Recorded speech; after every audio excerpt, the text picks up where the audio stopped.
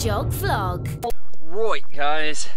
I do believe I feel a run rant uh, coming on.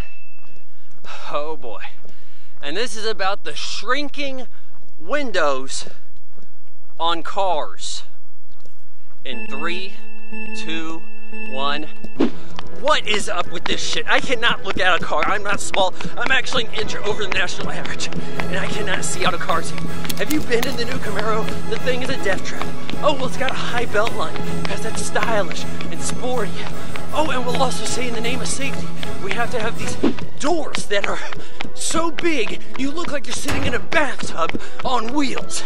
And you can't see out the back because it's raked sharply and the back seats and even the trunk lid are higher than your eye level.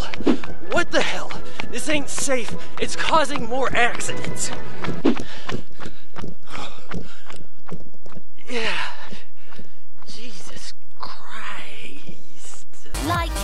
Comment, share, follow, subscribe. Vaughan Jog Vlog is made possible by your support on Patreon.